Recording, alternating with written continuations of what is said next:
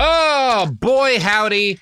What's killing my patience? This is Behind the Bastards, the podcast that just, I, I would say, heroically allowed Dr. Kaveh Hoda, our guest for today, to save a life before coming here. We didn't didn't demand that that a man die for the sake of meeting our podcast schedule. And I think we deserve an award for that. You know, You, I don't know what kind gracious. of award. You were Yeah. very gracious about that. He thanks Yeah. you. I thank you. We all thank you for that. Yeah. And uh, I did have to run it by You're you welcome. beforehand. That is correct. Yeah, yeah, that's you know, if you have a if you know anyone on the Nobel Committee, hit them up. You know, uh, we'll take a Webby Presidential Award of Freedom.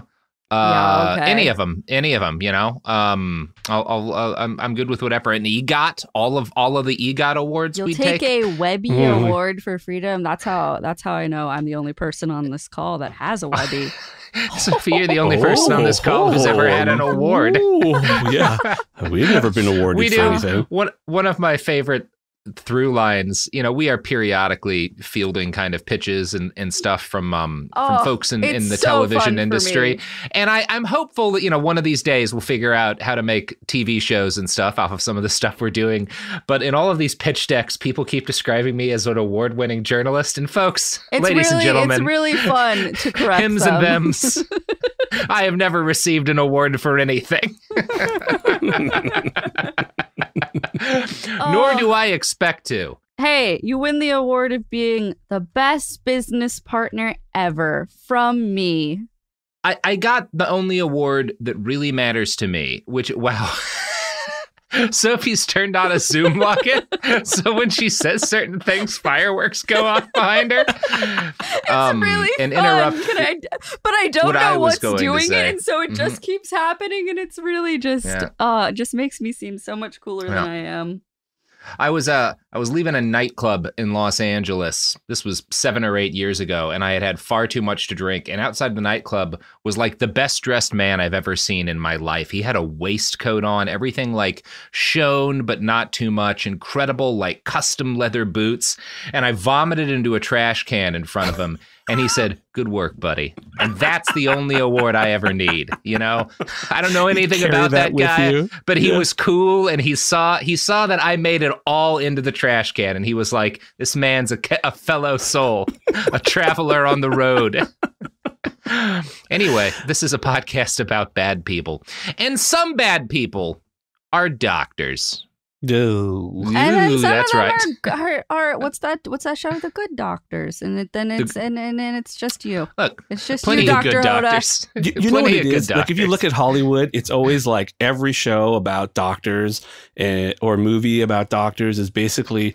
everyone in the medical system is terrible except for this one guy who's willing to Mhm. buck the system. he's gonna patch some atoms or whatever Right, happens exactly. in the patch Yeah. adams movie Yeah. No, you know, we've we've built a, I would say probably about like 15 to 20% of this show's like legacy and audience has been built off the back of like quack doctors, most of whom were not real doctors. You know, we've definitely Mhm. covered some actual doctors who were monsters. A lot of them came from the era back when anybody could be a doctor if you just said you were. We always have fun with these. And so I'm always on the lookout for like a good fake doctor story, right? Yeah. And periodically, especially I think over the last year or two, I keep coming across stories of like, well, this is really interesting. This is like a fake doctor or whatever that has like an int- it's an interesting story. I want to tell it to people, but there's not that much here. I get maybe two pages of script out of this, right? And so my plan was I'm just going to collect three or four of these, you know, put them together, and we'll probably get a good episode, maybe a one parter or something out of it. And then as I was putting together a couple of these little shorter fake doctor bastards, I I kind of uncovered I mean, I uncovered other people's reporting that uncovered like a massive sweeping nationwide healthcare scam by the insurance industry that is destroying uh, public health um, and the lives of countless Americans. So that's kind of what the story's going to be about. But we've got some good medical bastards here too. Fantastic. Yeah. Let's let's fucking burn my career to the ground. Forget it. Let's do it. Let's, let's make let's it. burn bridges today. I love it. well, the first guy we're going to talk about, you're not going to have to build any bridges for, because this man, this man is a, and I promise this, this ties into our classic deep, sinister over theme here, but it's going to seem just kind of like a one-off at first. And and the guy we're going to talk about is uh, Malachi Love Robinson. That's a real name. It sure is. As far as I can tell, this is his actual name. Uh, it's Oh, Love hyphen well, Robinson. You got a name like that, you are destined for greatness or for jail. One of the two. yeah. It, it's pri- it's prison or you you solve a plague. No, One like- of those Yeah. two things. yeah, It's grift or great. None of the other. yeah. Grifter Grifter great. great. Yeah, there's no there's no Malachi Love Robinson just like mowing his lawn, you know, working a nine to five as an accountant. Like No, you go big. you go big or you wind up dying in a cell. So back in uh, you know, the winter of 2014 to 2015, uh, a young doctor started doing rounds at St. Mary's Medical Center in West Palm Beach, Florida. Um, I'm sure you can correct me if I get something wrong, but my understanding is that large hospitals and the like often have groups of young doctors rotating through them as they Mhm. finish residency Mhm. requirements, right? This is part of how Correct, you yeah. become whatever doctor stereotype reference the Zoomers will recognize right now. I don't know what doctor show is on TV. They probably haven't seen House. It's still Um, fucking Grey's Anatomy. Grey's is it Anatomy. still Grey's They're- Anatomy? They are still on No. TV. It's incredible. No, I could do a whole Uh, show on Grey's Anatomy. See, and this is why the Zoomers are not popping enough pills. They didn't have Hugh Laurie making it look good for us. God damn it, that's a that's tragic. So for about a month, this new doctor, Malachi Love Robinson, was a regular presence at these clinical rotations. He'd walk around with a lab coat that read anesthesiology. He would tell people he was a doctor. Um, at one point, an OBGYN at the hospital received a letter from Malachi asking, Hey, can I shadow you? And I, I, I think he found this a little odd. It's not totally weird, you know, but he was like, okay, this is not the way people usually ask for this sort of thing. And hospitals are busy places, so whatever kind of odd impression Malachi occasionally gave off usually sort of gave way to the fact that everybody's got shit to do, right? There's like Yeah. there's people bleeding to death and stuff. You don't spend too much time worrying about the weird looking kid, right? yeah, we're like, okay, um, yeah, whatever. Yeah, come on, come on. Clearly you're Yeah, supposed just- to be here, right. right? You have a you have a coat. You look like a doctor. yeah, yeah. Come on. there wouldn't just be a random boy in the hospital, right? um, but that's I see where exactly what happened. and I'm going to read a quote from an article in the Sun Sentinel. Staff at the medical center's OBGYN office was alerted by a patient that a young male who, quote, appeared to be a child was dressed as a doctor and was inside an exam room. Another security guard told police she had seen the boy gain access to secured areas of the hospital in the past week. Security footage showed the boy entering the lobby from the parking lot. Officers saw the car parked outside and could see a white lab coat on a hanger in the back seat. When interviewed by police, the teen told them that he has been a doctor for years and that his family could vouch for him. Oh no. Oh, I'm just realizing that he specifically went for OB gyn. Yeah. Oh, what a fucking turd. If he was just some sort of like precocious youth who was like, I want to learn medicine and be Mhm. Doogie Howser, I'd be like, I, I, I would have a little like love for that. A little part of me would, A little would appreciate more. that. But now I see what he's doing. He's just like a young kid who wants to see boobs and stuff. Ah, that's that's probably it, right? He never will admit that, but that is my guess as to why he's kind of like specifically trying to do OBGYN stuff. And like it is it's it, it makes sense that it's a patient who first makes the report because they're kind of they're just stuck in a bed and they see this kid and they're like there's no way that's a doctor. Yeah. this is clearly a, a child. Why? Why is a child in this room with a oh lab my- coat on? oh my God. When did this happen? This happens like 2014, 2015. Not What? all that What? long ago, right? Like, yeah. So eventually, and again, this only takes a couple of months, which is longer than you'd expect, but it, he's, he's not, it doesn't go on for that long. And the police get called, right? So there's some news reports that a child was, and none of these reports, by the way, name Malachi, because you don't, as a jour- in journalism, you don't name children who commit crimes, right? It's a pretty Yeah. hard and fast rule because they're children. Like this is bad, but he is still a child. We know his name because of crimes he continues to commit as an adult. As Oh, a, wow. a spoiler for where this is Oh, going. wow. So the police, you know, uh, take him into custody. There's n- news reports at the time note that his mother like said he was ill, he was refusing to take medicine, but he was under the care of a doctor. She was Hmm. kind of insinuating maybe he was pretending to be a doctor because of that. I don't actually know if any of that's true or if his mom was just lying.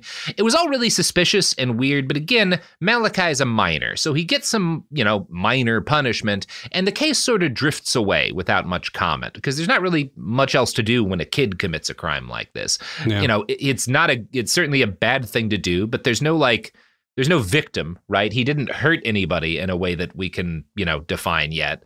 right. Um, I mean, so- um, I mean, I'm really fascinated to know what they let him do because, like, when I take medical students or residents like around for like rounds, and I'm like teaching them, I will, you know, with the patient's consent, always is like, hey, you can he listen to your heart? Can he do Yeah. this abdominal exam?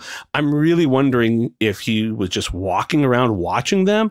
Or if he was like trying to get handsy with these the things. hospitals are cagey about it. My guess is that just because he was kind of nervous, he didn't push to do it the way like a real resident who's actually trying to get some hands-on experience might. But it probably wasn't nothing. Too like the hospital kind of wants you to think it's nothing, but like I don't know, guys, he was there a while.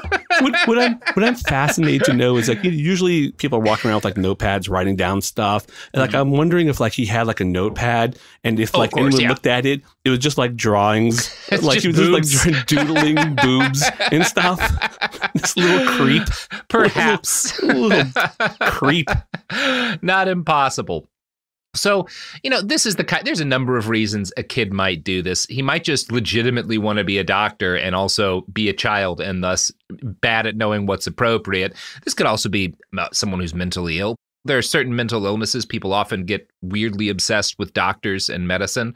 That's not what's going on with Malachi. He is a con artist, uh, and we're going to learn this later because about a year after this happens, when Malachi is now an adult, Floridians wake up to the opening of a new medical clinic in their area. New Birth, New Life Medical Center and Urgent Care, LLC. On the website is a stock image of a racially diverse group of awkwardly smiling actors pretending to be doctors, and below that is this text New Birth, New Life Medical Center and Urgent Care's mission is to provide personalized, high quality, holistic, and alternative medical care on an as needed or preventative basis. The only staff member listed is Dr. Malachi Love Robinson, and despite having just been arrested for looking like a child dressed as a doctor, he could not help but pick a photo and bio for himself that screamed child pretending to be a doctor. Now, oh have you ever seen a, mo- a child, a more obvious child pretending to be a doctor than that? This is so Robert has the photo on the screen now we're watching looking at this and it, it does I do remember seeing this now that you put this up Yeah. and he, oh my goodness it looks like a child like a sweet sweet boy you want to pinch his cheeks. Yeah, yeah. but knowing knowing what I do now I want to pinch them really hard. Yeah, like yeah. really hard like painfully hard. It looks like you know when i was in high school my high school offered like a, a pre pre-med program where you could actually do some very limited like clinical rotations and i think you'd be kind of certified as an emt sort of by the time you graduated high school. It was like for kids who wanted to be doctors and stuff.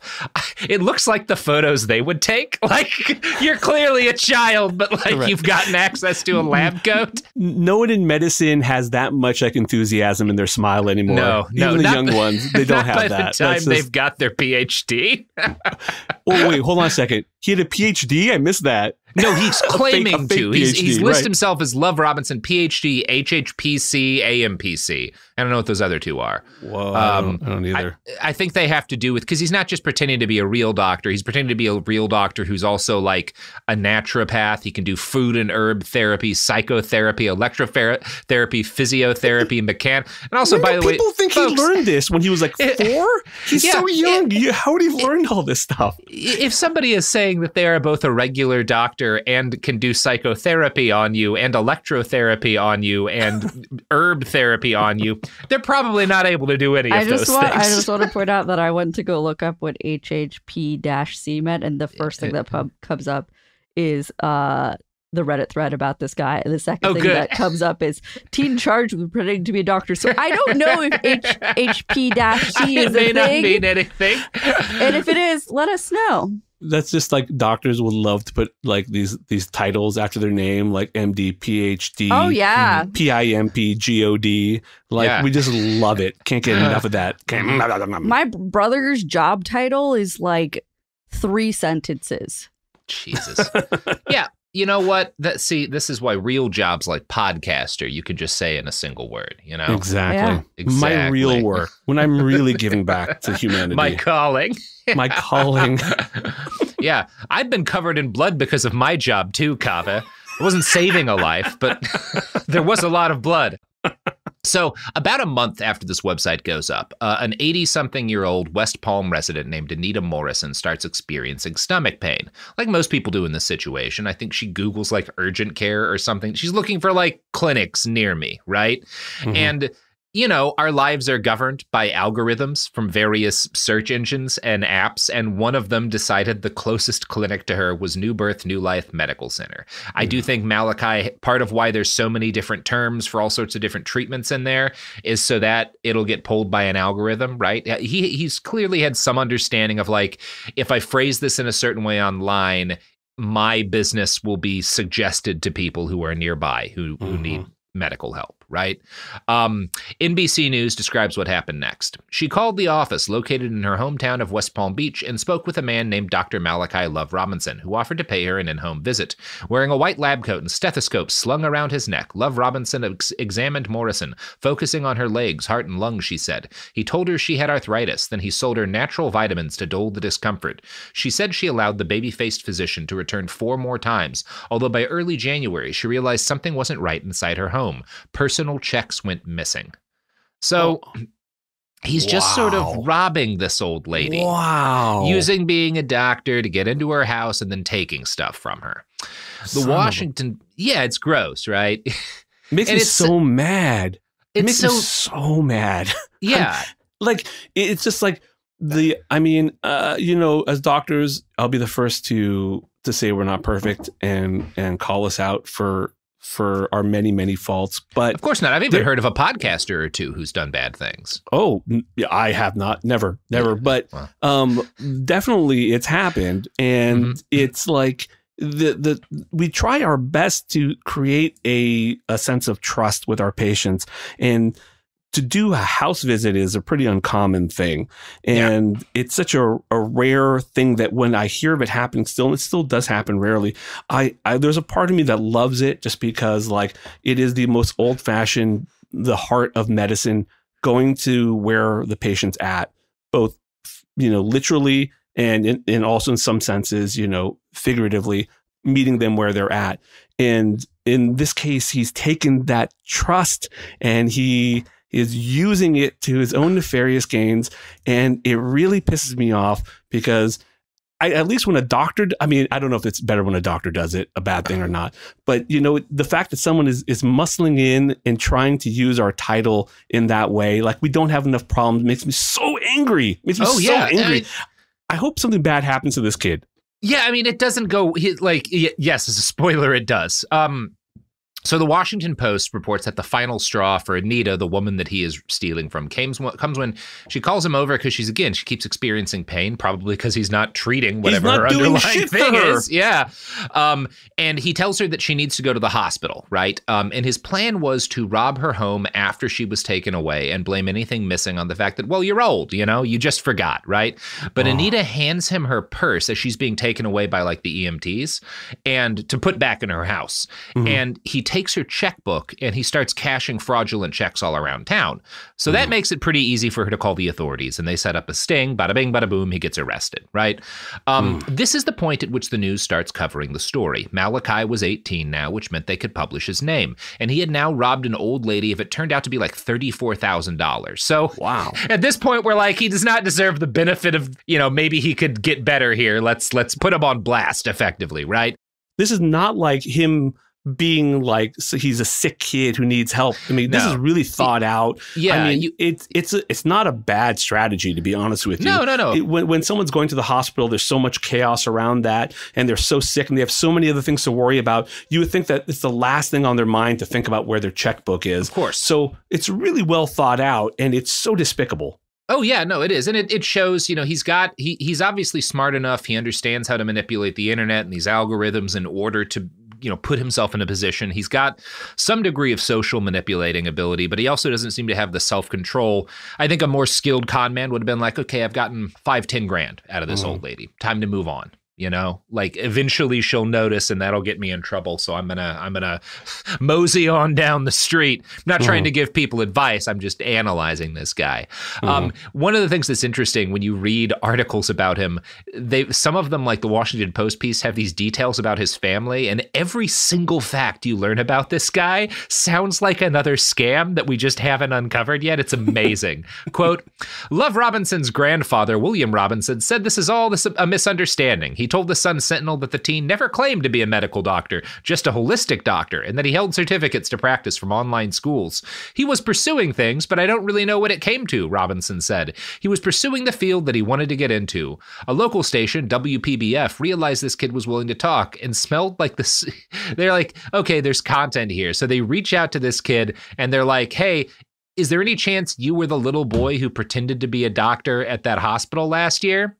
And Malachi's answer was, I requested to shadow physicians. Next thing I know, cops are there. That's all I know. I have no idea. Oh NBC does more digging um, because by now reporters are calling Malachi Dr. Love. And I think they're doing that. I think whoever did that was like, there's a pretty good chance this gets turned into a Netflix series. And I want it to Mhm. be based off of my article. So let's try to find a title here. Yeah. And they find out that he does have one seemingly legitimate qualification, which is a certification from the American Association of Drugless Practitioners. You heard of these guys, Kaveh? I have not, but I don't love the sound of it. No, no, that's because they're bullshit. They are like a real thing. They're just a real thing for con men, right?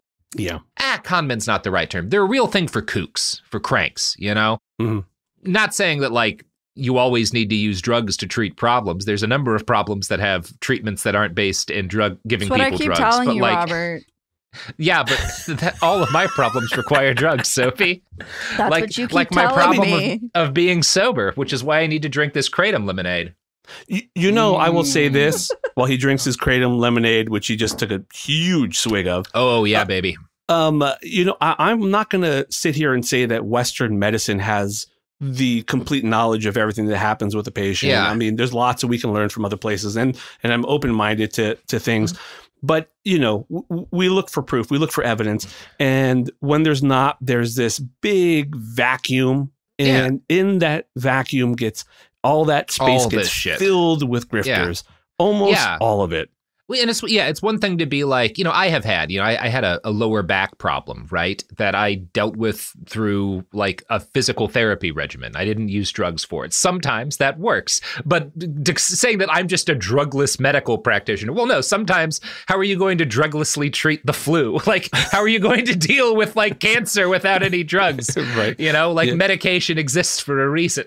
Right. Yeah. yeah. Look to your beautiful four parter on Steve Jobs for that. Yeah, yeah, exactly. Look, look, at, look at what happened with Steve when he tried to cure his cancer with apples. Right. Um, so the American Association of Drugless Practitioners are based out of Galveston, which is uh, the first black mark against them. Nothing good comes out of Galveston, nor will it ever. Uh, more to the point, anyone can join their organization. Not any doctor, anybody. Right? So you can be a drugless practitioner, which, like, I don't know, if you're just like Ted who works as an accountant or whatever, like, what are you, a drugless practitioner of accounting? Um, um, yeah, you don't have to be any kind of medical professional, right? Essentially, the number of people who could join this association, like, is encompasses everyone on Earth, right? If you ever treated a cold by just like waiting until it got better, congratulations, you qualify. yeah. So the AADP is primarily a way for holistic practitioners without real qualifications to say, number one, this is a thing that I can like put in a frame, right? I can have it up in my office or whatever, and it looks like I've it looks like a certification, right, to somebody who doesn't know anything. Um, and it's also kind of a way to say, I don't prescribe medication, so you can't get angry at me for saying I'm a doctor, right? And giving someone wild honey for their lymphatic cancer or whatever, because I that's just not the kind of doctor that I am. Um, NBC reached out to the group's director and were like, "Hey, this absolute con man who robbed a lady." uh, Said that he had was certified by your organization, and the guy who runs the AADP was like, "Whoa, whoa, whoa! Our credentials don't confer the ability to diagnose or treat patients, right? Um, that's not what this is about. So, like, what the fuck is it about? It's just there so quack doctors can stick a thing on their wall, right? Oh, Um, I, I recognize also that I might sound a bit hypocritical here when I say this, but because I'm a member of the Universal Life Church and I'm a oh reverend boy! because oh, of it. Kaveh, and- Kaveh, and so I that's, can the, do- that's the next paragraph, bro. Oh, God damn it. so this guy, the, the the head of the AADP, says that like because Malachi lied about being a doctor, we've kicked him out of the AADP. You know, we police our own, right? And I'm going to continue from NBC here. This is where we bring in the Universal Life Church. Oh. In addition, Oh. Love Robinson's doctorate was from the online Universal Life Church Seminary, according to documents released by the Oh, Florida Department no. of Health. The degree in divinity can be bought from the site for $29.95. You will be legally entitled to use the title doctor in front of your name, indeedy after your name, the website says. Now look, Kaveh, I also have have used the Universal Life Church to to allow me to do things to people, like marry them. Yeah. Um, that was a creepy way to phrase that. Wow, We've all gotten I a did lot not of mileage. enjoy that sentence. you did, did things to people for sure. Some people might say that's invasive.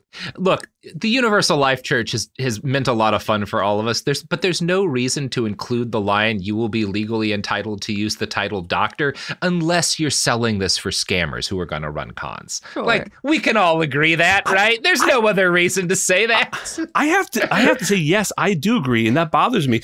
To be honest with you, so I did it also so I could marry some of my friends. Sure. I mean, I didn't marry them myself. I married Uh-huh. No, Two yeah, other we know people we know about I your swinging hipster life. yeah.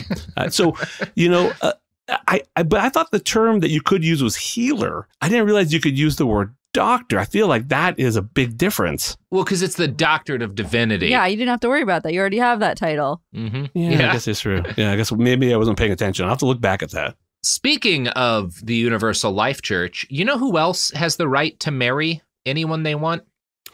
Uh, I'm gonna guess Blue Apron can marry people That's at right, will. Blue Even if you don't want to get married, they can force you to get married. Th- They they can and they often do. Um, look, if you see anyone with the blue apron armband, run, run for your life. They, They they your, your freedom means nothing to them.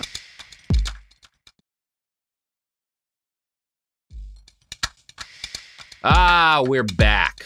Um, back hold up in three separate undisclosed locations, hiding from Blue Apron's shock troops as they as they comb the West Coast. Just what we need. Another Blue Apron conspiracy that our listeners are going to take to be truthful. Uh, yeah. Yeah. You know, Sophie, I thought I was going to be better about this sort of thing, but it's like we always say on the show power corrupts, and it's also really fun to be corrupt. So I'm just going to keep going. you are such a healer, Dr. Thank you. Evans. Please. Thank you, Reverend Dr. Evans. That's a real Dr. one, though. That comes from the state of New Jersey, you know, and that's an actual state, Nothing allegedly. good comes from the state of New Jersey. Wow. They have trees. They have nice trees and except- yeah, they got, they got except- nice except the- trees. My old the- boss, Dan O'Brien. The you know? Sopranos. The Sopranos. The I take it back. Take it back. That's three good things. All That's more than you all get from right, all Oklahoma. right. Lower your taxes. Okay. Um, New Jersey's great.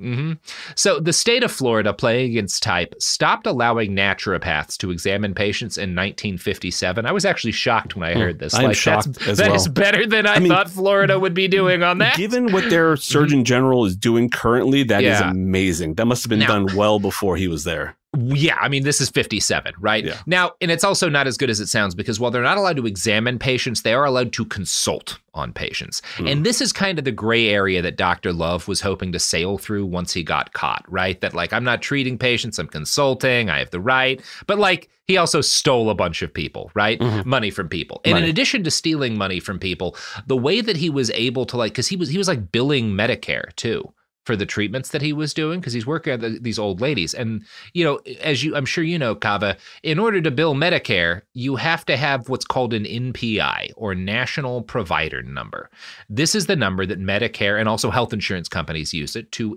identify physicians for the purpose of approving billing right it's And the I'm number never that going to give you mine, Robert. So stop asking. that's yeah, yeah well all i need is your signature for, you for my Google it, I'm purposes sure, yeah. right now Yeah. right.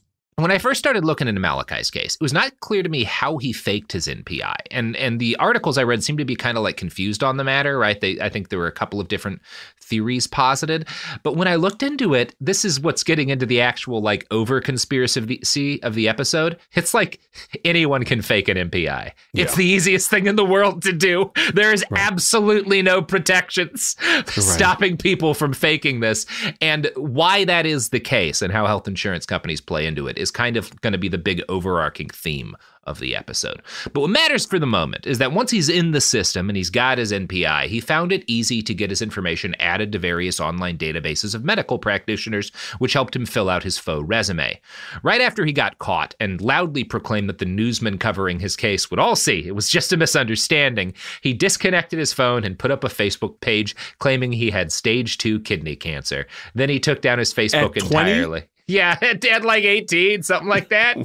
Yeah, I don't think so, bro. man. Um, Malachi was sentenced to 28 months in jail. And in the interim period where his case went forward, uh, he left the state of Florida illegally and tried to buy a $35,000 Jaguar in Virginia, accompanied by a very old woman he was planning to trick into buying the car for him. Oh my Uh, god. When when questioned, he varyingly identified the woman as his mother and godmother, and like it, it was such an obvious scam that I think it's like the car dealers who turn him in. And like, if you're too shady for a car salesman, holy shit, you gotta really be doing some.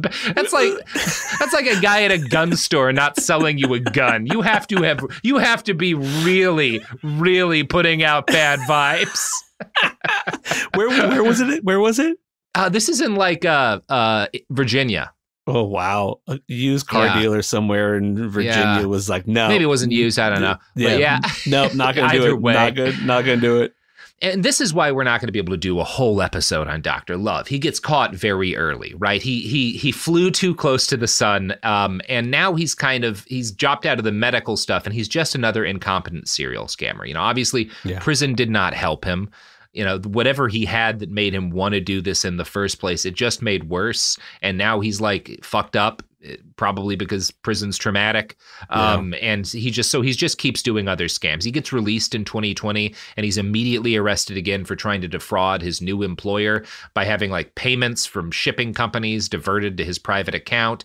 It was all these are all like bad cons. And like I read one article with a quote from him where he's just like sobbing. He's like, sorry, please don't send me back to jail. It's a fucking bummer because like this what this kid did is fucked up, but he was also 18 and like Yeah. clearly I- locking him up did not it hasn't made it better you know like I mean, I'm torn because on one hand, if I wasn't the doctor, I might appreciate this, you know, little rascal for what he's I- been I- up to. But it's not rascal it's bad yeah yeah, he's a but he is a, a a naughty, naughty young man, yeah and and to to use what little goodwill we still have as doctors and Mhm. abuse it makes me very upset. So it I, is. It is I'm having a, I'm torn. I'm torn on this one, but I am sort of glad that he is uh, at least a, a name that people hopefully recognize and can Google and can be like, this guy is full of shit. i mean that's certainly important. I just am also like well fuck locking him up he just keeps doing cons. Like what do you like clearly whatever the solution if you want if the solution is this kid is not able to like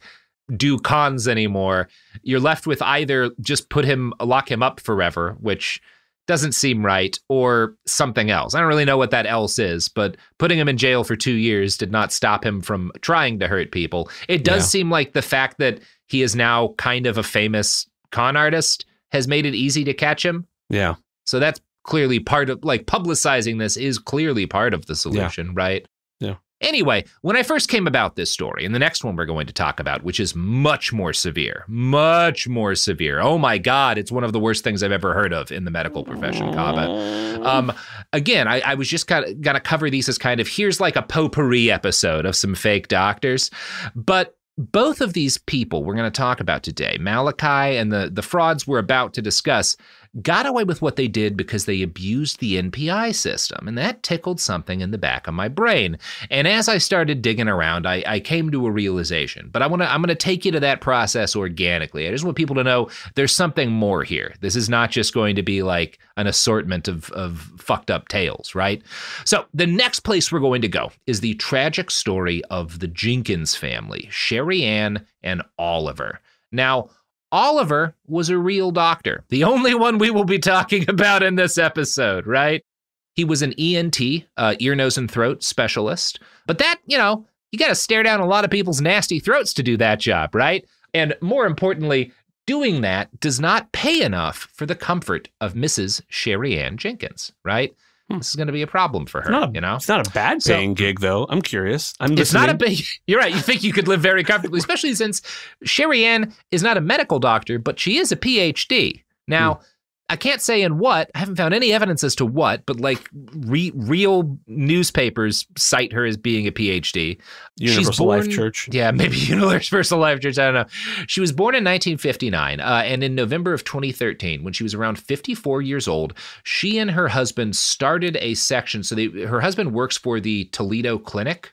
Uh, that's how it's named in like the court filings. Um, and they started a cognitive center at the Toledo Clinic. So you've got this real clinic where there are multiple real doctors doing real procedures and really mm. treating patients. And her husband, a real doctor, starts a cognitive center there. Now, you might think that's a little odd because he's an ENT doctor, mm-hmm. right? Mm-hmm. The ear, nose, and throat are important, but they are notably not the brain. I'm, I'm, waiting to I'm waiting to see how they connected this. Yeah, um, but I think Sherry Ann is she has like some like her PhD is in like some sort of neuroscience sort of thing, but it's not mm. like um she's not again not at all a medical doctor. Mm. So Sherry is the one who's actually doing all of the work at the cognitive center, but she's using her husband's practitioner number, his NPI number, to invoice Medicare. Now, she is doing the exams herself. She mm. is hmm. doing the treatment herself. She is prescribing medicine herself. She's mm. just hmm. using her husband's NPI number. That alone is several kinds of fraud. Super you bad. are not supposed to be doing that. Super bad. People go to school for this sort of thing. Yeah. I mean, and and and doctors will work with nurse practitioners, physicians sure. assistants. There's there's they work with non-doctors of course, of things. Course. Yeah. But you don't work with a PhD who has no medical training yeah. To do it's these very, things. Exactly. When you especially when you're talking about like weird cognitive, rare cognitive things, it's very likely that you would have a real doctor who might work with someone who's got like a PhD in neuroscience and that person yeah. would contribute to them figuring out what sure. to do. Right. But the doctor is still the one doing the the diagnosis yeah. and whatnot and filing these things. Yeah. Um, from what I can discern from past reporting and court records, the actual scam here was very simple, very simple and very vile. The Jenkinses found out that one of the things Medicare pays really well for is ordering PET scans and diagnosing people with Alzheimer's. Like it's a it's a good payment that you get for doing these things, right? So because the Medicare rates for these the tests that you have to do this are are pretty good, and because most people find Alzheimer's the most terrifying diagnosis imaginable, if you tell them that they have Alzheimer's, they will immediately agree to whatever kind of ongoing treatment you tell them they need to take, right? But in part because they're just kind of overwhelmed with the numb shock that comes with getting diagnosed. Like that is a your life, at least in the way most people see it. I'm, I'm sure there have been, I, I dealt with, I have a family history of, well, we thought it was Alzheimer's. It turned out to be Lewy body, but Mm. For the whole time that she lived with us, we thought my grandmother had Alzheimer's. They look mm. very similar. So I'm aware of like how jarring this is and, and what a kind of a disorienting thing this is, especially if you're younger when it happens, right?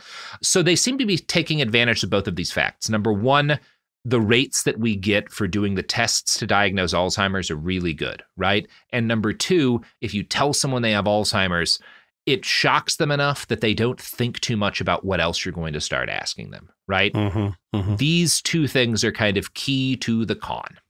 So I guess it's possible that Sherry Ann is to some extent deluded about her capabilities, right? That she really thought that she was diagnosing some of these people yeah. because some of the people she diagnosed with Alzheimer's did turn out to have Alzheimer's. Now that's not so weird, nor does it really hint that she was actually, you know, more competent than you might think because this is a cognitive clinic that specialized in people who are having like memory issues, right? And if yeah. that's your business, a decent number of the people who come to you will in fact have Alzheimer's, right?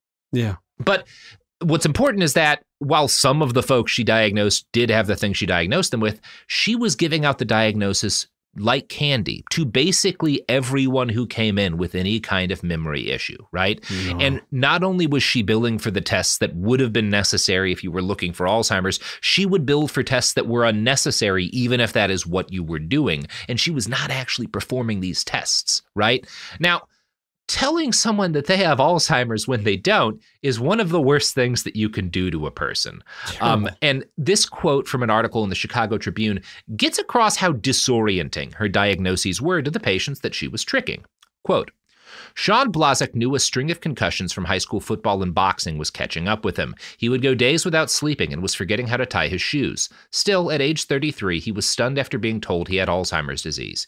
He started planning out who would take care of his four kids if something happened to his wife, and he thought about how hard it would be for them when he could no longer recognize his family. So he stuffed fistfuls of sleeping pills into a bottle and wrote himself a note, vowing to swallow all of them if he wasn't able to remember the names of his children.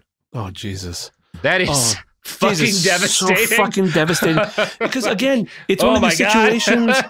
It, it's it's one of these situations where there is like this gray zone where it's like Yeah. hard. A lot of times these neurological diagnoses are really difficult Of to course, do, of and, course. and that's why we have neurologists, Yeah. like specifically and psychiatrists Yeah. too, who specifically Yeah. work in these areas. And again, when there's any sort of doubt, when there's any sort of question, these these people come in and they fill that space. And that's Yeah. what's, oh, it's so terrible. 33 year old and just preparing like to the- end his life if he has one bad day. yeah, yeah, exactly. Um, it's a fucking nightmare. But you know what's not a nightmare, Kaveh? Ah, I'm gonna guess it's the wonderful products and or services That's that right. uh, That's support right. this program. That's right. We are sponsored by the concept of not being a professional boxer. So please please avoid that. It turns out it's very bad for you. right.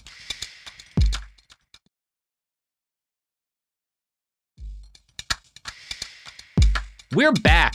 What if instead of face punching, boxing was all dick punches? I would Is there any way that could go If being Yeah, that seems like a better better show, right? Yeah. I mean, no chronic traumatic encephalitis. There's no like, you Mm-mm. know, connection to Parkinson's as far as I know. yeah. I think just as long as they're okay with the fact that they're probably not going to have kids, just punch each other in the dick a lot. yeah, yeah, Yeah. just dick punches. Mike Mhm. Mike Tyson and Jake Paul have the funniest thing they Oh, could do right now. I, I would pay so much money to watch that fight. That would be Mike Tyson would just evaporate Jake Paul's junk. it, would, it would be gone like Come like on. when you blow on one of those those flowers that's got a million little seeds. dandelion. Yeah, Do you guys- dandelion. Do you guys ever watch the slap fights, like where people like slap each other? Yeah, like, yeah, It's I like think arm that's wrestling, but with slaps. Yeah, sure. That Mhm. that's insane. That that's a thing that happens. That's so. I see a couple of these videos where they get Yeah. hit so hard that they start to like get into these weird like uh positions. These these- Okay, well these maybe sort that is bad for you. yeah, like like I think they're having like brain damage, like actively you can see from like the seizures they're having. It's terrible. Sports are fun. I think we should go. I just found out it used to be an Olympic event. It was dueling where you would shoot like wax bullets at each other and you would wear like protective vests. And I think we should Hmm. go back to that. I feel That's like there's no. Yeah, why not? Why not watch people shoot each other on television with guns that can't kill them? Yeah, much better than than punching each other's faces until their brains melt. Yeah, I'm listening. I'm open to it. Yeah, let's do it, folks. Uh, anyway, we're back, folks. Derailed. Another- absolutely. Yeah, yeah. Well, another of the Jenkins' victims uh, is Deborah Schmidt. Uh, Deborah was diagnosed in 2015 by Sherry with Alzheimer's. Um, now, one of the things you noted is that, like, this is tough. These are not diseases that we have a great handle on, so mistakes get made. Um, and Deborah did what you should do in that situation. She went to another doctor for a second opinion. Mhm. First, she goes to another guy who works at the clinic. I think that she had just worked with before, uh, James Auberle. And she was like, hey, I don't think I have Alzheimer's, but this guy or this lady says I do. Um, and James counseled her to go back in and is like, well, you know, I'm sure that the the clinic is a real clinic, so you should probably just like keep going in. So she goes back to the clinic and she does a cognitive test. Um, and Sherry Ann is like, "Yeah, you've definitely got Alzheimer's." Um, even more this time. I checked even twice. even You- more. Super Alzheimer's. Now you have mega Alzheimer's now. And then and then says, if you want to slow the advance, the only thing that could help is coconut oil. Oh man, come on, Now- people! I, I- I know everyone falls for a scam. I believe it. I believe there's a scam for everybody. I believe Oh, yeah, it. for sure. Come on. Look, there's a lot of great things about coconut oil. It tastes good. I think it's relatively heart healthy. Um, don't quote me on that. Yeah, I mean, if you want to cook with it, fine. It's not going to cure your Alzheimer's. Now, I did look into this because I was like, I hadn't actually heard of this. I was like, is this like a thing in like bullshit medicine circles? And it sure is.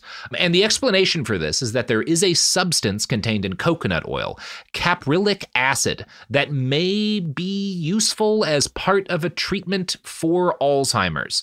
Studies are ongoing. Um, and medicine that contains caprylic acid is in stage two clinical trials. Now, number one, that doesn't mean that it works. But number two, that's not the same as coconut oil halting Alzheimer's, right? This, this is a super important point. Yes, and if I could yes, just yes, make a please. quick stop here. Yeah. What'll happen a lot in medicine is you'll see a headline that'll say, like, this spice uh, will help with uh, this cancer. And where in reality, it's like maybe some component that's in this food or this spice Yeah. may have something in it that if taken out and produced in a different way and given to you in the right way might if the studies Yeah. show it. But in reality for example everyone talked about turmeric how it helps your liver. But in reality like there is one component of it that does seem to help but when you take it it gets broken down into an inactive component that doesn't help your liver. So taking it like orally taking it for food great. These things are oftentimes harmless. Sometimes they are harmful but usually they're harmless. But the studies aren't necessarily there yet to prove that they help. In this case, Yeah. this this acid, if it's studied and it shows to be helpful in specific ways, it won't be getting it through coconut oil. It'll be like Yeah. through like a compound of it that's really in high quantities that you could take. So it, it's it's not to be when you read these headlines that say something like, you know, oh, eating this blank thing will will help your diabetes. I mean, there might be some kernel of truth to it, but it's a long way from that to something clinically important. It- I beg people to keep that in mind. It's this it's the thing like people only do this with foods, right? Because if you hear, hey, they found a spider in the Amazon that's that's venom is going to can be like we think will be part could be used to like make a cancer treatment, right? Well, Yeah. you understand that what that means is that there's some compound in the venom that when isolated and added probably to a cocktail of other compounds might be useful in some sort of cancer treatment. You don't believe, well, if I've got cancer, I need to fly to the Amazon and get that spider to bite Right. me, right? Right. That's not, but if you hear that like a compound in fucking avocados might be a useful part of a cancer treatment, you'll always get grifters being like, don't go to the doctor for your cancer, eat a million avocados. And no, that's not how avocados work. That's not how cancer works. Please don't do this. Um, exactly. and that is uh, that is the case with this, right? There is no evidence whatsoever that coconut oil itself can stop or halt the progression of Alzheimer's. A lot of this myth took off in 2015, which is the year that this is. That's why she says it, right? Because it was in vogue then, and it's in vogue thanks to uh, Dr. Mary Newport. Dr. Mary Newport started claiming that a regimen of coconut oil had given her quote a few extra good years with her husband after he was diagnosed with early onset Alzheimer's. I am sure Mary's case is very sad, but there is no evidence to support the claim made on the website Us Against Alzheimer's when it covered her story. Quote, What if a spoonful of coconut oil each day were all it took to reverse or slow down the symptoms of Alzheimer's? Now, there is research as to whether or not just coconut oil itself might have a positive impact on Alzheimer's. Research does not mean evidence, it means research. I found a 2022 article on CTV News announcing the start of a study by the Health Bird Alzheimer's Institute to study the impact of coconut oil versus a placebo on 65 Alzheimer's patients. That article notes that it is the first clinical trial of its kind, but also admits there is currently no clinical data showing the benefits of coconut oil on the prevention and treatment of dementia. Newport, whose husband Steve was diagnosed with Alzheimer's at age 51, said she began to see improvements after yada, yada, yada, right?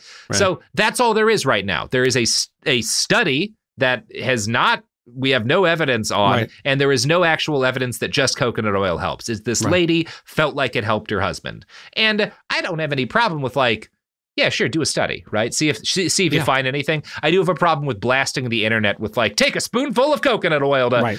Now, if you're also doing treatment, you know, and you you just add a spoonful of coconut oil, sure, if that makes you feel better, there's no harm to it. You're not gonna you're not gonna damage anybody by giving them a spoonful of coconut oil each day. But like, don't do it in lieu of medical treatment, Right. Yeah. and don't also pretend people have Alzheimer's when they're not. If I could also add Yeah. one thing to that for listeners, if you ever feel like you need to get a second opinion, do so. Yes. You're not going to offend your doctor. Like Mm. every doctor has a patient go seek a second opinion. That is okay. We want what's best for we're supposed to want what's best for you. And if some other doctor has a better idea of how to do Yeah. that, we're all for it. So if Yeah. the- you feel like some you and it's sometimes it's even if you like what the doctor's telling you, but you still want to get another opinion. We understand. If a doctor doesn't get that, that's on Yeah. them. That's weird. And most of us Yeah. will get it. Yeah, it's one of those things like, yeah, it's probably unreasonable to go to a second opinion if you've got a flu or whatever. Right. But like Right. Alzheimer's is a big deal. And like I said, you're right. like they misdiagnosed my grandma. Now, given the state of Alzheimer's and Lewy body treatment in the early 2000s, I don't think it would have made a difference. Like, like Yeah. you're not gonna like give them I, I- like we just we just didn't have a good handle on either of them. You know, it, that's just the reality of the situation. So I don't know if Miss Schmidt, who's the woman who's gotten diagnosed with Alzheimer's by by Sherry Ann and then told to take coconut oil, I don't know if she like Googled around and was like, there's no fucking evidence that this shit is an Alzheimer's treatment. But, and I, I kind of think that's what happened because she refuses to take it, right? She's like, no, I'm not going to fucking take your coconut oil. Um, I don't trust your diagnosis. Sherry Ann Jenkins reported her as non compliant in her official paperwork and chastised Schmidt, then billed Medicare $1,267 for the visit. Oh my god. Now, a- I found Schmidt's experience chronicled in a lawsuit against the Jenkinses, filed on behalf of Schmidt and others by the United States government. This is not super important, but it is very funny to me how this lawsuit opens. Now comes the United States of America, by and through relators Deborah A. Schmidt and Mary K. S- Smith for their complaint, state, and aver the following. I just love that. It's like You a made that wrestling so intro. exciting. That's so much more exciting now than I comes imagined the United it. States of America, 310 pounds and six foot seven, baby. Wow. so the good news here is that Schmidt did seek a second opinion. She did not just take Jenkins's diagnosis, which is why, again, it's important to do that. Um, and in fact, a team of doctors at the Cleveland Clinic see her and they're like, "What the fuck is this?" Jenkins lady talking about you're fine right and in fact it's it's such a like she goes to one doctor and eventually a whole team of them look her over and are like yeah there's you have you don't have alzheimer's right you're just Mhm. kind of old and forgetting a couple of things but like Mhm. you don't you, there's no evidence of alzheimer's so when she learns this she goes back to the toledo clinic and she Hmm. tells that neurologist she had been talking to dr aubrell hey jenkins fucked up to which the good doctor replied i don't even want to hear that woman's name now Hmm. This is a story that's more worth more reporting. I'd really like to see a good documentary about this case. I'm sure one will come out eventually because I, I don't really fully know how there's uh, you certainly get you certainly can see that like over time some of the other doctors at the clinic outside of the cognitive clinic realize something shady is going on i don't know if they're aware i don't think they're aware that she is actually diagnosing patients and carrying out tests Mhm. right? Because Yeah. she's using her husband's NPI and she's not Right. supposed to be doing that. But they Yeah. seem to be aware that, like, she's full as shit. So another client uh, is Mary Smith. Mary sees an article on the Toledo's Cognitive Clinic made up as part of a PR blitz by the clinic that the Jenkinses were running, right? Mary had been concerned about her memory, and she saw an ad in a local magazine that claimed Sherry Ann used, quote, neurocognitive testing coupled with PET CT scans that allowed her to see what part of a brain is functioning well and design protocols for each patient. Now, Wow. I, I'm not a doctor. That's is that more or less how it's supposed to work, right? That seems like uh, basically how it's supposed to work. PET scans for, Is for Alzheimer's? So that's not how it's supposed. See, I'm not the doctor here, so that's not right. Okay, well, good. I mean, I'm not a neurologist, so it's a bit out of my wheelhouse. But CT scans for sure. yeah, I don't. I mean, it's interesting. You can make you it's you could make an argument like what activity is lighting up, what metabolic activity Yeah. lights up. So a PET scan will look at metabolic activity. So if you're looking for cancer, for example, you like do a PET scan and Mm-hmm. it'll light up in certain parts of your body where there's lots of metabolic activity, lots of things turning over, like a cancer would do, Mhm. lots of growth, lots of turnover. So I don't know, maybe they do it for the brain. I, I don't know. I'd have to ask a neurologist, but it seems like what's very hand wavy. What's important for this story is that they're lying about doing those tests in large part because using those machines is expensive. You get to bill Medicare for them, but it's still like a thing, right? And you don't your clinic usually does not have one, right? Maybe the whole clinic has has access to one, but like your little cognitive center, you don't have your own. And it seems like the Jenkinses are trying to avoid kind of interacting with the rest of the Toledo clinic as much as possible. Mhm. So when Smith comes in, instead of giving her a, a PET or a CT scan, she gives her a verbal test tells her she's failed, and then she finds an old MRI scan of Smith's brain that was just on file at the clinic, not a current one, and diagnoses her with Alzheimer's based on that. Right? So that's all a little shady. It's all very shady. And I'm sorry, just to, to cut in because I just looked up real quick. So it looks like because there's different types of PET scans. The the type that we normally look at is called FDG, which is like the concentration of glucose mm-hmm. and looks at like metabolic activity. So the one you apparently can use, and again, a neurologist is going to correct me on this one, for this is amyloid PET to measure the buildup of amyloid. It's like a protein that can build up. Uh, it's one of the key hallmarks of Alzheimer's. So it can look for buildup of this um, this protein. So there is a use for a specific type of PET CT scan.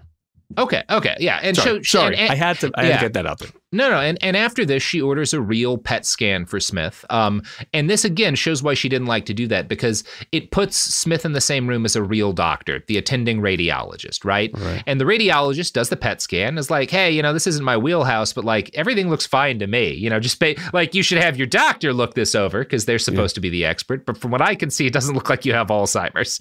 So Smith goes home and is like, whoo, that's a load off my mind. The radiologist said I'm probably fine. And then later that night, night, Jenkins calls her at home and is like, The radiologist was wrong. You've got the Heimers. You got to come back tomorrow and bring your whole family with you. Do doctors not say you've got the Heimers when they're diagnosing Alzheimer's, Kaveh? they, they, should. If they I'm being fair, it's not yeah. bad. Um, and she's like, Yeah, bring in your whole family. They all need to be here, right? Because you can't trust your brain no more. So oh, wow. Smith does this and she tells her family and, and, and brings them in. And Jenkins like sits her down. She's like, You have Alzheimer's. And she tells her family, you all have to take care of her now, right? She can't what be on fuck? her own. You know, you're no longer an independent person. Also, I'm going to have to do a telephone consult with you every three weeks and an office visit every three months for the rest of the time that she's alive. And of course, Sherry Ann, this is the situation she wants to lock every patient into because yeah. that means you get to bill like 1600 bucks for every one of these visits and that's a really regular income stream. She's just wow. locked in medical yeah. gaslighting at 20 the, some grand a year for herself just with that one patient. You it's gaslighting at the highest level. It's yeah. like amazing. And there's no real cost to the clinic but Sherry's time, right? Because this is just this person coming in and being told, hey, take some fucking coconut oil, right? Yeah. So she effectively, and again, obviously you can see if you if you can do that with 10 people 200 grand a year 20 people 400 grand a year right? Like this is this is like a, a sizable amount yeah. of money that you can make doing this in addition to the upfront cost which is probably in the 10 to 20 grand of just like getting them diagnosed. Um, but it also what you're looking at here if you're talking about on a one-to-one basis she is upending and destroying people's lives for about the price of a nice used car every year. Like that's that's what's actually going on here. So here's what the court case against the Jenkinses lists as the prescription she gave this woman for Alzheimer's treatment.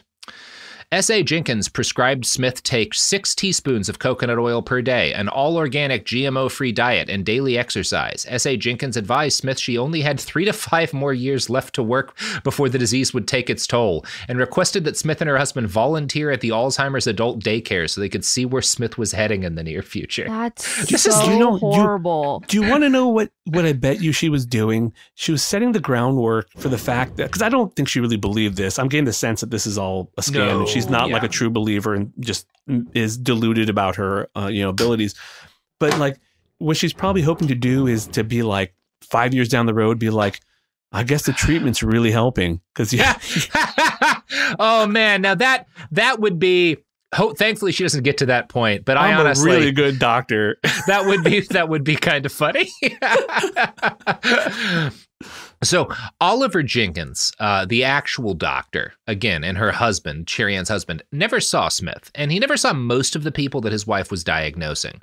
Obviously, Smith is distraught when she gets this diagnosis, and she also thankfully seeks a second opinion from a real doctor who looks at her and is like, this doesn't look like Alzheimer's to me, but hey, we'll do a PET scan just to make sure. And oh, yeah, still no Alzheimer's. um, but because this guy's a real doctor, he's like, you know what? You have one positive diagnosis. I showed nothing, but let's bring a third doctor in just to be really sure yeah, that you don't right. have Alzheimer's, right? So he refers her to yet another doctor who backs up the confirmation that she's fucking fine, right? The Toledo clinic had billed Medicare four thousand uh, and thirty-six dollars for this bullshit diagnosis. So Wow. Smith is furious, right? But at this point, she's also like, well, maybe I just ran into a bad doctor who like fucked up, right? Like it's not clear from one case as the individual. Is this lady just like shitty at her job, or Yeah. have I fallen into some elaborate scheme? Yeah. So when Sherry Ann calls her and is like, hey, so when are you coming in for your every rest of your life visits, you know, to get told to take coconut oil? You got to let me treat you. Smith is like, fuck off. We're not going to you anymore. So not a Dr. Jenkins sends Smith a letter. Quote, our physician patient relationship is ineffective, and I can no longer continue to provide services to you as your provider. Therefore, this letter will serve as my notice of my intent to discontinue our physician patient relationship. Now, this seems to have rubbed, that does seem, is that something you do? I've never done that. I've never, Okay. I mean, I'm trying to think if I've ever fired, for lack of a better word, a patient. And maybe it was like one time when I got threatened by somebody who was not quite, you know, in, a, in a good place. So they, and that might be the only time, but I didn't Yeah. write them like a letter. I don't, I don't think Well, it- we do that very commonly. No, and this isn't even that, because this is the patient says, I'm not going to go to you anymore, and you send them a letter firing them, which is like, right. weird and petty. Yeah. Right. It's like weirdly, it's like The- the- bafflingly petty. The Yeah. response, the correct response is, "I'm sorry. I hope you find someone who treats you right." luck. You Yeah, know, yeah, exactly. Um, so this seems to have rubbed Smith the wrong way, getting this letter. So she goes to the radiologist at the Toledo clinic, so at the broader clinic that the the cognitive clinic that that the Jenkins's run is at, and she's like, "Hey, uh, you know that." PET scan you did that seemed I was fine. Well, here's what happened afterwards, right? So this radiologist tells her, "Oh yeah, all of the radiologists at the Toledo clinic went to the executive board recently to lodge an official complaint that Jenkins does not know what she's doing. Their Hmm. complaint included the line, She has diagnosed everyone with Alzheimer's. And then in the court case, after this is announced, there's an utterly baffling paragraph that I'm hoping you can help me make sense of, Kaveh. The radiologist also stated that S.A. Jenkins had misdiagnosed his own 21 year old daughter with Alzheimer's disease. He further What? stated that he had destroyed all of the medical records pertaining to his daughter and recommended that Smith do the same with regard to her records. What? Why, Wait, what's going on there? Hold on, hold on, hold on. I'm I'm confused. So the real Dr. Jenkins, Yeah, he the, ra- the radiologist. he diagnosed a radiologist's daughter. Y- yeah, S- no, Sherry Ann, the not real doctor, the, Right, the okay. wife who was not at all any kind of doctor, non-doctor. diagnoses the radiologist's 21 year old daughter with Alzheimer's. And he, then the radiologist said, I destroyed all of the medical records pertaining to my daughter from that case, and you should do the same. Why would you do that? It does not seem like there's any good Yeah. reason to do that unless he was somehow in on the scam. I don't understand. Yeah. Like, why would you? You would never do. First of all, you never destroy medical records. Like, Yeah. it's one of those things where like the the lie is is worse than the actual act. You're not supposed. To you just Yeah. can't do that. It's just like we're not supposed to do that. I, I, Um, I Googled then why would little. why would a radiologist take his daughter, a 21 year old, for Why uh, was this- the daughter this seeing questionable the doc? clinic? Yeah. Yeah, And then you know, why would he not look at the images himself? Why, and why would he not feel like 21 is sort of? I mean, there is early onset Alzheimer's, yeah, but come it on, happens. 21, you're a doctor, man. Something fishy, something clearly like something yeah, I mean, is up. he, he is saying that like he and a bunch of others went to the clinic leadership and said this person's a scammer. So it seems like he rec- and I kind of I kind of suspect the thing with his daughter could be as simple as like maybe there's a Oh, work party, Wait, right? wait, wait, and she- wait, she- was he what? was he using his daughter, who we know, who we knew was like super healthy, as like a test to catch the? I- I- to ma- catch the maybe doctor? that's it. I also think it could Oh. be like maybe there's like a work party and Jenkins runs into his daughter and just like in the process of a conversation diagnoses her with Alzheimer's like because come she's slip into Yeah. my CT scan over here for a moment. Yeah. yeah. I, I don't know. We- whatever it is, sketch. again, I know we have like a bunch of professional journalists and TV people. Here's a great, this is like a solid six episode Netflix documentary, Yeah. right? Like you could, or at least a good tight 90 minutes, right? Like somebody Yeah. do, because I want, there's a lot of questions I do have about this still unanswered. Yeah. Hire Robert and I just to be the CT Yeah, techs. It'll be a- absolutely. we'll- it'll be Oh a my great God. Scene. We'll choose so much scenery. Absolutely, yeah, and and bring in Pedro Pascal to be I don't know somebody. I just want to have The lunch daughter. with him. Bring him in to be yeah, the 20 bring him in daughter. to be the daughter. he has and Lee- range. Lee, Pace can be can be Smith or someone. I just want to have one really good lunch out of this project, people. It's the most you thing that has ever been said. the lawyer in this case is David Zoll, and as part of his claim against her, he noted that at least 30 people were misdiagnosed and aware of it, right? That, like, we have tracked down 30 people who were told they had Alzheimer's and didn't, um, which is, you know, potentially like 600 grand a year, right? And ongoing visits and stuff conservatively. Um, but also, he's like, that's just who we know. This lady, they were doing this for four years. There's an unknown number of people that may have been diagnosed by her, right? A lot of these people are old. There's a good chance a non trivial number of people died thinking they had Alzheimer's, you know? Yeah. But we're just like, they were like 80 when they came in, right? So they didn't have a lot longer. Um, unraveling who was told what has proved to be a difficult process. And Zoll claims there's, and again, that's the lawyer, claims there's also evidence that uh, Sherry Ann overbilled patients for the fake care she was giving them, in addition to faking their care. His take was that she's simply greedy, right? Their cognitive center grew a lot faster than anyone expected, and it made a lot of money for the larger Toledo clinic. And I think to the extent that there's maybe some weird shady stuff going on, right, that's sort of insinuated in that paragraph, maybe the radiologists weren't able to get anything done to get her fired because clinic leadership was like, well, we don't really give a shit. The money's coming. I don't actually know. Yeah. What really sticks with me is how predatory the process was. Sherry Ann and her husband were not just giving fake diagnoses to scam Medicare, they were outright like hunting people. Zoll claims, quote, many times she would see the first person and have them bring in their whole family, Zoll said. And many times she would diagnose the whole family, right? Because Alzheimer's can be can have a genetic component at least. I don't know that it always does, but like it, there are people for whom it runs in the family. So she's like, your whole family needs to get tested. And then boom, boom, boom, boom. Everybody's got Alzheimer's, you know? She's like doing the Oprah free car thing, but with you fucking got Alzheimer's. Alzheimer's. You have Alzheimer's. Yeah. You know, um, and unfortunately, this process is not just reckless and cruel, it's deadly. And I'm going to quote now from reporting in the Chicago Tribune. Kay Tainer was diagnosed with Alzheimer's on her second visit to Jenkins and then referred five or six friends and family members to her office, including her husband of 48 years. All were told they had the disease, she said, but her husband, Gary, took it hardest. He's got a smile that just lights up the room, and I never saw it again, she said. He just sunk in his chair. To me, he never stood up again. He was never tall again. He gave up. Gary fell into depression, spending his final weeks sitting in a chair with his hands in his lap until he went into their garage and shot himself in the head, she said. Oh. An autopsy did not show any signs of Alzheimer's. Because So- this, this monster. er- er- I mean, early early Alzheimer's. Again, I'm not a Yeah. neurologist, but my my general understanding is that it's I think under the age of like 65, and there is like a familial onset um, Yeah. Alzheimer's, but it is really rare, and it's it's like probably less than like one percent of the total cases Yeah. that you're going to see. And like for her to take advantage of this and give these people these crushing diagnoses because you know things have gotten a little bit better and we do have new medicines kind of coming down Yeah. like the, the pipeline but it's still a really bad thing to get especially Yeah. at, at, at earlier ages it's so it's so cynical so callous that they would do it to make i mean I don't know. I, I know this is so stupid, and I'm like on the wrong show to ask this. But how do people live with themselves when they do something like that? Like I don't understand like the how that how in her mind she was probably the victim that she's the hero of her own story. Yeah, I yeah, understand. yeah. Everyone is. But how is she spinning this? That's the part I don't understand. You know, part of me is like, maybe it was a long con and she's like, it won't really hurt them. I'll tell them they're cured and then I'll start selling fucking olive or not olive, uh, coconut oil Coconut oil, supplements. yeah. I don't know. Um, but maybe it is just like, I don't care about people and I want money.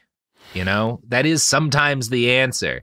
Maybe Yeah. she was deluded, right? Maybe there's some sort of mental illness she's got going on. But honestly, I feel like that's probably less likely than just like this person was a monster. Yeah. I don't know. But I mean, we, we, you know, at, at this point, I don't know that we'll. Maybe if somebody does a deeper reporting on it, we'll get.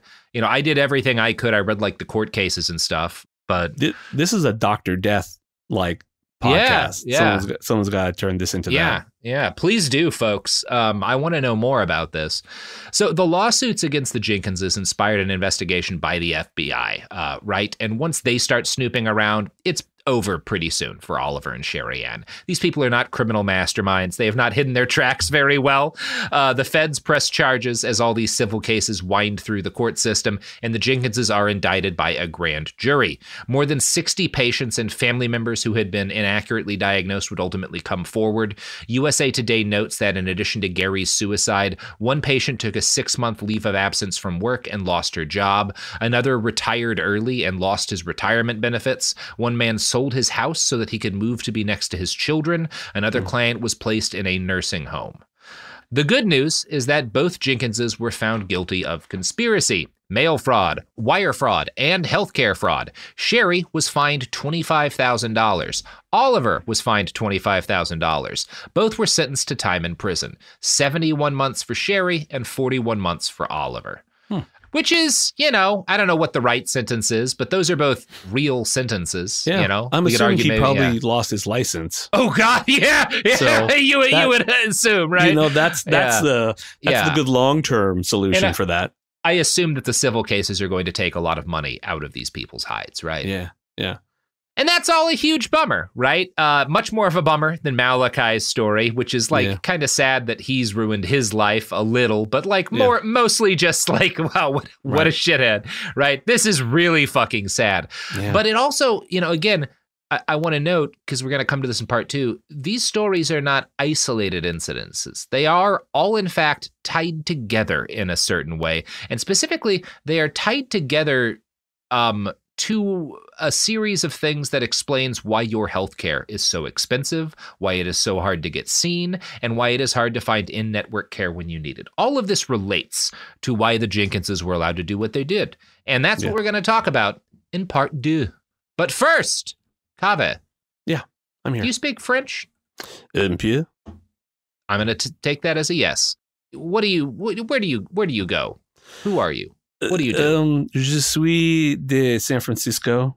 Mm-hmm. Um, that means I'm from San Francisco. Uh-huh. Je suis un doctor et un podcaster. I, that's French for I am a doctor and a podcaster. Mm-hmm, mm-hmm. Um, and that's the extent of my French. Uh, I have a podcast called The House of Pod. You can mm-hmm. find it anywhere you listen to podcasts. You yeah. can follow me uh, if you like on Twitter at The House of Pod. I just started making TikToks because I'm yeah. a complete sellout bitch. Brave. Ooh, I yeah. love it. no, because you, are an outlaw.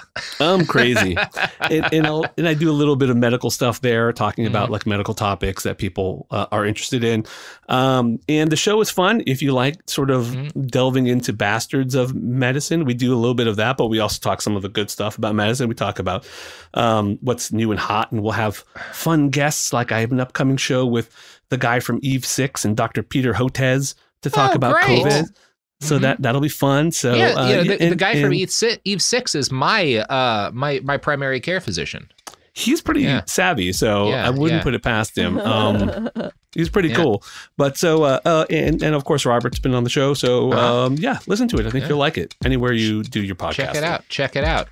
Um, and you know, interesting fact, Kaveh, uh, hmm. the French language actually has more than 30 different words for podcaster. Uh, that makes sense, and they all yeah. are something to do with like les petites murs. I think. Uh-huh. Yeah, that's yeah. right. That's right. That's one of them. Um, yeah. Anyway, everybody, go to hell. I love you. Behind the Bastards is a production of Cool Zone Media. For more from Cool Zone Media, visit our website, coolzonemedia.com, or check us out on the iHeartRadio app, Apple Podcasts, or wherever you get your podcasts.